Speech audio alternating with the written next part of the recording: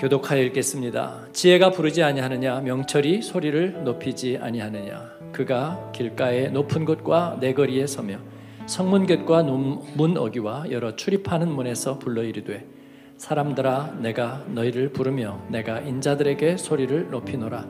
어리석은 자들아 너희는 명철할지니라. 미련한 자들아 너희는 마음이 밝을지니라. 너희는 들을지어다. 내가 가장 선한 것을 말하리라. 내 입술을 열어 정직을 내리라 내 입은 진리를 말하며 내 입술은 악을 미워하느니라 내 입의 말은 다 의로운 주그 가운데에 굽은 것과 폐역한 것이 없나니 이는 다 총명한 총명 있는 자가 밝히 아는 바요 지식 얻은 자가 정직하게 여기는 바니라 너희가 은을 받지 말고 나의 훈계를 받으며 정금보다 지식을 얻으라 같이 읽습니다. 대저 지혜는 진주보다 나음으로 원하는 모든 것을 이에 비교할 수 없음이니라. 아멘. 우리 다시 잠언의 말씀으로 돌아가서 묵상하며 오늘 잠언 8장 말씀 함께 나누겠습니다. 제목은 지혜가 부르는 소리를 들으라입니다. 우리 첫 번째 제목을 같이 읽겠습니다. 지혜의 부르심 귀 기울이면 마음이 밝아지리라. 우리가 잠언에서 어, 지혜란 무엇인지 그 정의를 함께 나누었습니다. 기억이 나시나요? 지혜란 하나님을 경외하는 것, 하나님을 두려워하며 그리고 하나님을 마음의 중심에 모시고 사는 삶의 태도입니다. 근데 이 지혜의 목적은 삶의 길을 바르게 가기 위해서입니다. 그런데 인생의 길은 우리가 인생의 길이라고 말한다면 그것은 길 자체를 말하는 것이 아닙니다. 어, 좁은 길, 넓은 길, 험한 길, 평탄한 길, 어, 그리고 산길, 소록길, 그리고 또 무슨 길이 있죠? 동구밭 과수원길. 아, 그런 길들은 길의 모양과 또 길의 어떤 정도를 말하는 것이 아니고 그곳을 지나간 그 사람을 표현하기 위해서 붙여진 이름이 길이라는 표현입니다.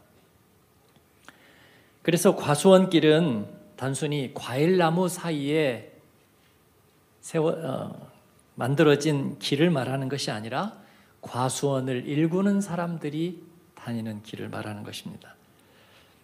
논길은 논두렁 사이에 이렇게 나 있는 길을 말하는 것이 아니라 벼농사를 짓는 사람들이 아침 저녁으로 다니는 길을 말하는 것입니다. 그래서 제2차 포에니 전쟁 때 카르타고의 그 유명한 한니발 장군이 코끼리 떼를 몰고 이태리 정벌을 위해서 그 유명한 알프스 산맥을 넘습니다. 6일에 걸쳐서 그 알프스 산맥을 코끼리를 타고 넘는데 그래서 그 유명한 한니발의 길이 되는 것입니다. 또 실크로드라고 우리가 얘기하죠. 비단길. 그것은 중국에서부터 시작해서 중앙아시아 그 험난한 고원들을 거쳐서 사마르칸트 예, 가장 정점을 찍고 거기에서 인도로 가는 길, 인도를 지나서 예, 당시에 콘스탄티노플, 지금의 이스탄불에 이르기까지, 유럽에 이르기까지 동서를 관통하는 대장정의 무역로, 이것을 실크로드라고 부르는데 그것은 실제로 이 무역을 하는 사람들이 이 말에다가 나귀에다가 노새에다가 비단을 싣고 실제로 그 길을 갔기 때문에 우리는 그 길을 실크로드라고 부르는 것이죠. 이 실크로드는 오늘날 이 복음 선교의 아주 중요한 또 루트가 되기도 하는 것이죠. 그래서 우리의 인생의 길은 어떤 사람이 그곳을 가느냐에 따라서 이름이 붙여지게 되어 있는 것이죠. 그래서 이 길을 바르게 가려면 많은 지혜가 필요합니다. 네, 길을 가는 데는 그래서 길잡이가 필요한 거죠. 네, 이정표가 있어야 하고요. 또 이정표 없는 길에는 그래서 길잡이가 반드시 있어서 지형을 살피고 또 날씨도 보고 얼마나 가야 하는지 예, 길잡이가 있는 것입니다. 근데 길잡이만 있다고 되는 것은 아니고 두 명 이상이 길을 간다면 이제 그 길을 계획하는 사람이 있어야 합니다. 그 길에 리더가 필요하다는 거죠. 그래서 옛날에 3인행에 필요하사라 그랬습니다. 세 사람이 길을 가면 그 셋 중에 한 명은 스승이라 그런 얘기를 하는 것입니다. 왜냐하면 인생에서 갈림길이 나오기 때문이에요. 이리 가도 나올 것 같고 저리 가도 나올 것 같은 아니면 이 길로 갈까 아니면 다른 길을 가버릴까 교차로가 나오고 내거리가 나오고 그렇습니다. 그때마다 어떤 길을 선택해야 할지 결정해야 됩니다. 그래서 리더가 결정하는 사람이 필요한 거예요. 또 길을 잘 가려면 지켜야 될 규칙들이 참 많습니다. 무엇을 가지고 가야 될지, 가지고 가지 말아야 될지, 예. 어떤 준비가 필요한지가 대단히 중요합니다. 여러분, 한 대여섯 시간의 길을 가야 될 경우에 우리는 상당히 많은 것을 준비해야 된다는 것을 알게 됩니다. 그리고 힘도 굉장히 많이 듭니다. 만약에 가볍게 여겼다가는 큰 코 다치기 일수입니다. 아, 정해진 공간 안에서 격렬한 운동을 하는 것보다 운동을 하지 않는데도 그냥 걸어서 대여섯 시간 가는 것이 훨씬 힘듭니다. 가본 사람은 아는 거죠. 그래서 많은 준비가 필요합니다. 올해도 우리는 삶의 길을 가야 하는데 그런데 그 길은 가보지 않은 길입니다. 그리고 가보지 않은 길이라고 해서 시행착오를 되풀이할 시간이 없습니다. 그래서 후회 없고 실패 없는 길을 가야 하는데 중요한 것은 길이 정해주는 것이 아니라 길을 가는 우리에게 어떤 지혜가 우리 안에 무엇이 있느냐 그것이 중요한 것이죠. 우리가 참으로 하나님을 사랑하고 그리고 진리를 따른다면 우리의 길은 진리의 길, 하나님을 사랑하는 사람의 길이라 그렇게 불리워질 겁니다. 그런데 우리가 낙심하고 두려워한다면 그 길은 두려워한 사람의 길이 될 겁니다. 하나님이 줄로 재워주신 기업을 버리고 자기들의 소견에 오른 대로 좋은 땅을 찾아간 사람들을 예, 단지파 사람들이었습니다. 블레셋 사람들과 가까운 곳에 제비를 뽑아 하나님이 그 땅을 주셨는데 그래서 그들은 그 땅을 싫어했습니다. 그래서 더 좋은 땅을 찾아 떠나는데 사람들은 그 길을 단지파 사람들이 간 길이라고 불렀습니다. 즉 불순종의 길, 불신앙의 길이 되는 거죠. 여로보암이 간 길은 하나님으로부터 멀어지는 약속의 땅으로부터 멀어지는 길이어서 여로보암의 길이라 불렀습니다. 그러나 하나님을 순종하고 찬송하고 그리고 하나님의 구원의 역사를 이루기 위해서 하나님의 말씀을 따라간 길은 다윗의 길이라 불렀습니다. 하나님은 거기에다가 별을 달아 주었습니다.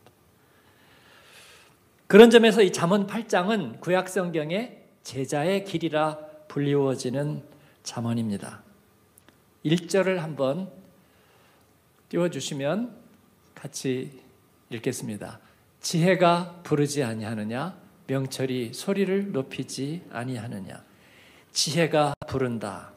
하나님의 지혜는 그래서 우리를 부르시는 부르심의 소리입니다. 콜링 우리는 그 부르심, 부르심은 소명이라는 말로도 그렇게 사용됩니다. 그래서 하나님은 우리를 부르셔서 그 부르심의 지혜를 따라서 우리는 한 해의 길을 가게 될 줄로 믿습니다. 하나님의 지혜가 우리를 부르시는 것입니다. 5절, 예, 6절을 한번 띄워주시면, 네. 아, 그, 그 이전에 몇 절이죠? 예. 4절, 4절. 사람들아 내가 너희를 부르며 내가 인자들에게 소리를 높이노라. 5절. 어리석은 자들아 너희는 명철할지니라 미련한 자들아 너희는 마음이 밝을지니라. 그렇게 부르고 있습니다. 어리석고 미련한 너희들아. 왜냐하면 우리는 어디로 가야 될지 어떻게 가야 될지를 알지 못하니까 아이와 같고 어리석고 미련한 사람과 같습니다. 명철하라. 그 말은 정신을 차려라. 깨어 있어라. 그런 것입니다. 그리고 마음을 밝게 하라. 그 말은 마음을 가볍고 기쁘게 열어라. 오픈 마인드. 그리고 귀를 기울여라. 하나님의 말씀에 귀를 세워라. 그렇게 부르고 있습니다. 그렇지 않으면 인생은 잘못하면 터벅터벅 걷게 됩니다. 제가 특별 새벽 기도를 하면서 신년에는 한 주간 6일밖에 되지 않지만 제가 새벽에 이렇게 차를 세우고 오시는 성도들 가만히 이렇게 보는 거예요. 예, 그러면 어떤 분들은 발걸음이 좀 무겁죠. 같은 몸무게 인데 굉장히 이렇게 예, 눈이 있다면 발자국이 깊이 패일 거예요. 이렇게 굉장히 무겁게 내려뜨고 네, 좀 피곤하시군요. 그러나 피곤하지만 어떤 분들은 발걸음이 가볍게, 네, 가볍게 그렇습니다. 터벅터벅 걷는 사람들의 길은 지치고 고난 나그네의 소망 없는 광약길이 될 것입니다. 드라마처럼 어떤 사람은 가다가 멈추고 가다가 멈추고 그러면서 눈물이 줄줄줄줄 흐르는 하염없이 눈물만이 흐르는 길은 이별의 길이 될 겁니다. 가도 가도 쉼터 하나 나오지 않고 날은 어두워지고 그리고 차량한 길은 죽음의 길이 될 것입니다. 이런 길들의 특징은 처음부터 예정지가 없다는 것입니다. 처음부터 계획이 없고 목적이 없다는 것입니다. 예정 없이 그냥 가는 거예요. 그래서 갈수록 힘은 빠지고 소망은 사라지는 것입니다. 그러나 주님이 우리에게 지혜로 부르시는 부르심의 길의 특징은 힘들지만 지치지만 그러나 갈수록 힘이 나는 것입니다. 목적지가 가까울수록 소망이 빛나는 것이에요. 그래서 산과 골짜기를 거뜬히 이겨내는 길이. 그래서 그 길을 우리는 부르심의 길이라고 부릅니다. 저와 여러분의 길은 부르심의 길입니다. 하나님께서 우리를 지혜로 부르시는 거예요. 그래서 오늘 말씀해 보니까 지혜가 부릅니다. 지혜가 부르는데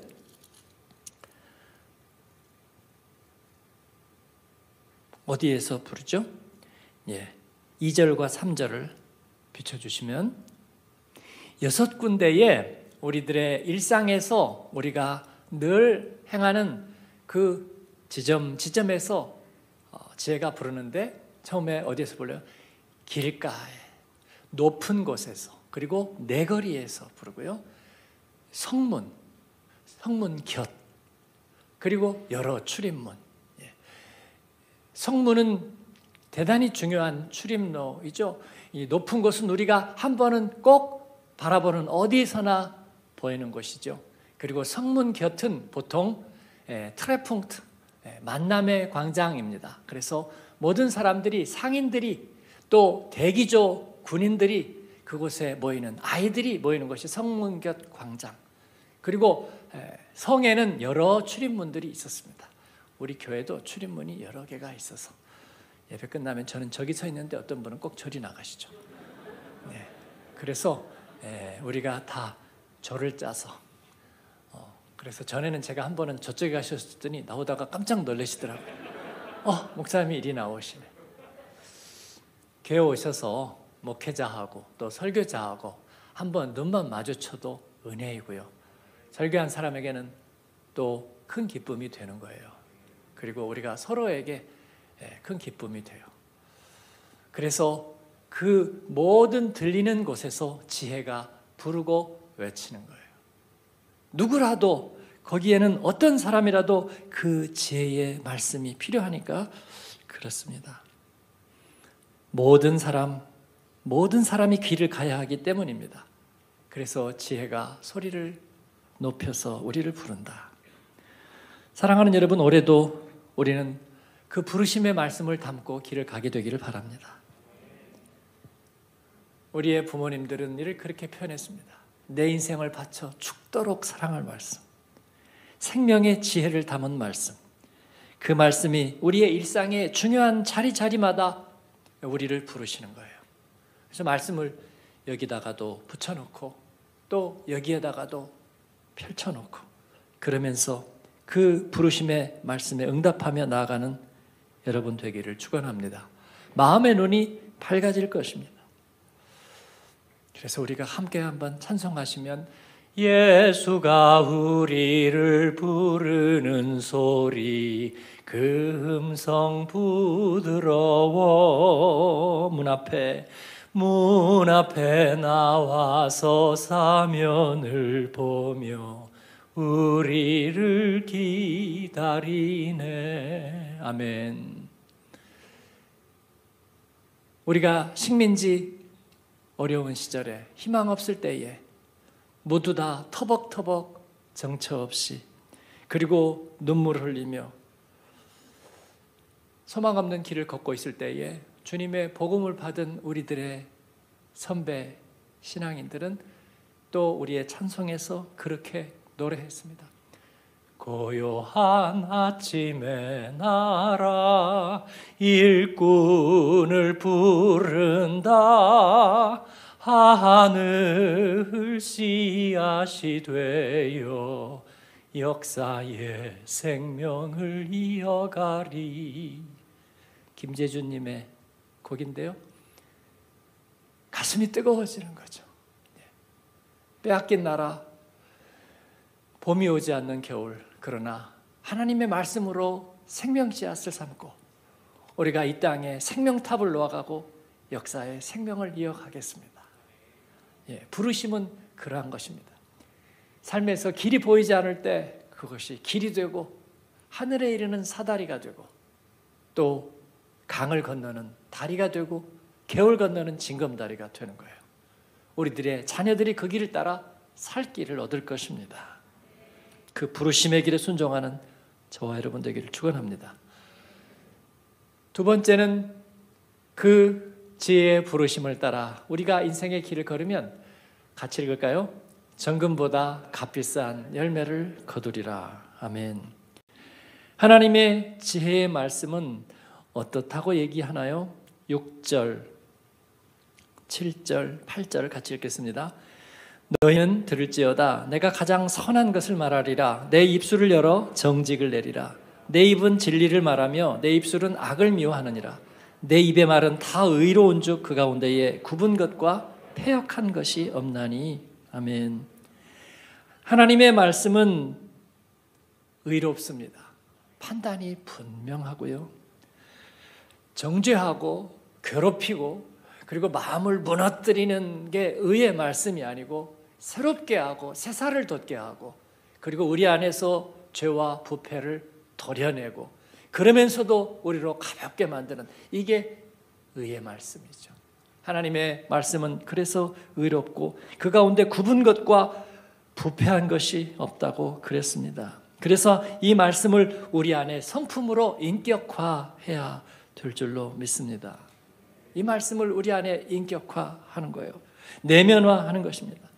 그래서 우리의 성품이 그 말씀을 따라서 정직하고 의롭고 선하고 그래서 우리의 말과 모든 관계의 커뮤니케이션들이 선명하고 그러므로 하나님께서 우리의 모든 삶의 대화들이 자꾸 오해가 생기지 않고 또 냉소하지 않고요.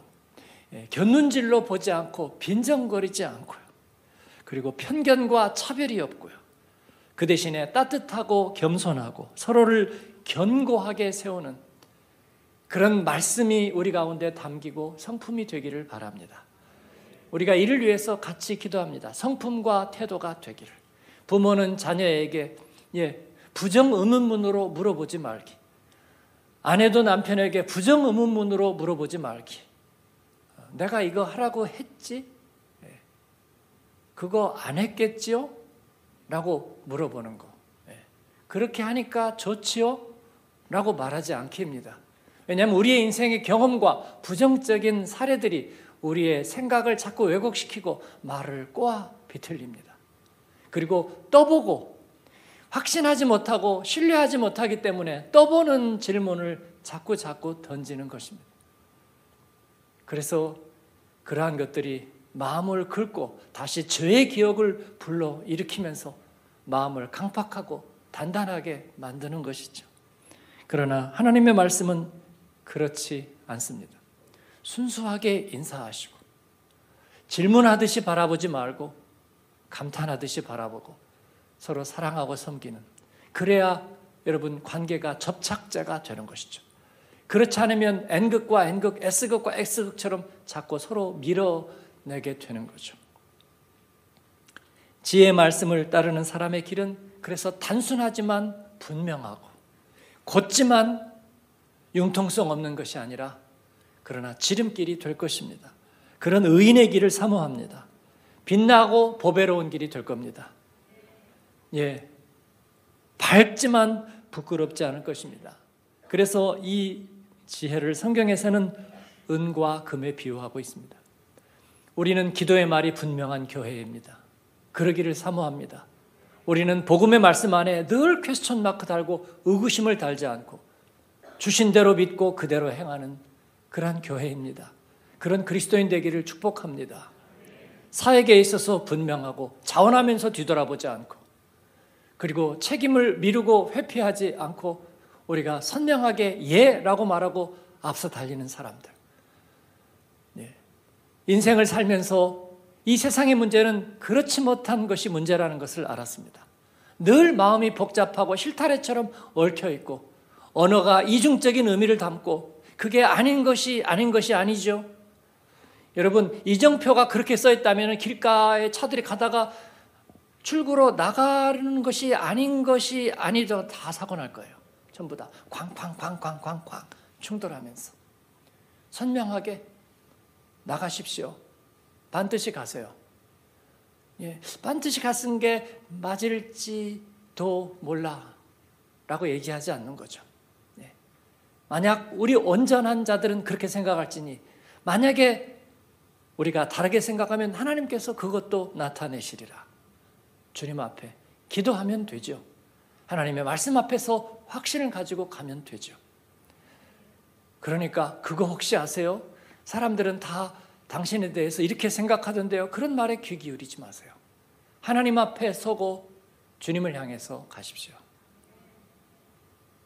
그래서 지혜는 성경에서 은과 금에 비유되고 있고요. 욥기 28장 15절에서 19절에 보면 지혜는 13가지의 값진 보석으로 비유되고 있습니다. 왜냐하면 이 지혜의 말씀과 부르심을 따라가면 인생에 바로 이와 같은 보석과 같은 열매들이 맺히게 된다는 것입니다. 그 엽기의 말씀에 보면 순금과 순은과 오빌의 금, 귀한 청옥수, 남보석, 황금, 수정, 정금, 진주, 벽옥, 산호, 구스의 황옥 들어보지도 못했던 이 보배들이 그 길에 맺힌다는 것입니다. 사람들이 새해가 되면 덕담으로 꽃길만 걸으세요. 그런데 꽃이 있는 길이 꽃길이 아닙니다. 우리 가운데에 그럴 만한 성품과 우리 안에 그런 보배가 담겨 있어야 그 사람이 간 길이 꽃길이 되는 것입니다. 말씀을 사랑하는 사람의 길이 꽃길이 될 겁니다. 그러니까 여러분 벽돌이나 땅에 투자하지 말고 말씀에 투자하고 성품에 투자하시기를 바랍니다. 그러면 그 사람이 가는 길이 약속의 길이 될 것이고 그 사람이 서 있는 땅이 약속의 땅이 될 것입니다. 그 길에 보배가 가득할 것입니다.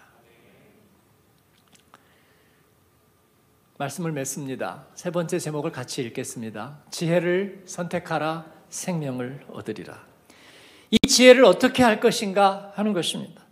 당연히 선택해야죠. 받아들여야 하는데 어떻게 받아들이냐면 인격체로 받아들이는 것입니다. 어, 여러분이 학교 다닐 때다 어, 전교 1등 하셨죠? 어, 안 하신 분이 상당히 있는 것 같으네요.